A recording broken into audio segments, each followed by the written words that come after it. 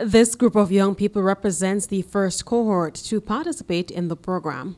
They spent a portion of their summer engaged in activities focused on highlighting the dangers of substance abuse, understanding the law, and receiving counseling on conflict resolution and other related issues.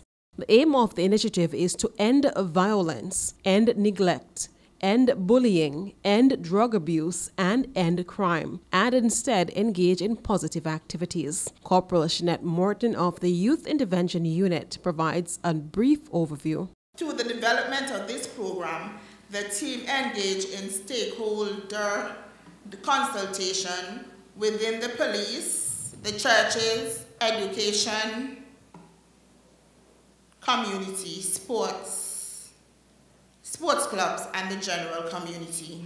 Student Representative Tyler Moore, an aspiring police commissioner, also shares his experience over the past few weeks. At this camp, I learned to keep my anger under control and to think very highly of myself and to stay away from a life of crime and to live up to the dreams that my parents have put me in to help me become the person I am today.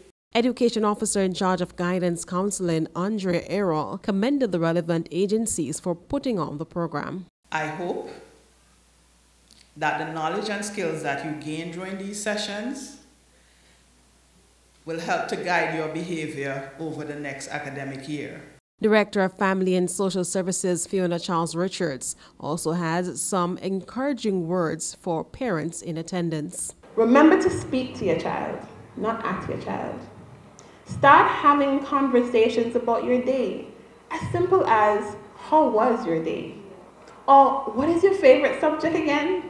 The program also received support from the Member of Parliament for the St. John's Rural West constituency, the Honorable Richard Lewis, ABLP caretaker Michael Joseph, local pastors, the business community, and many others. Theresa Goodwin, ABS News.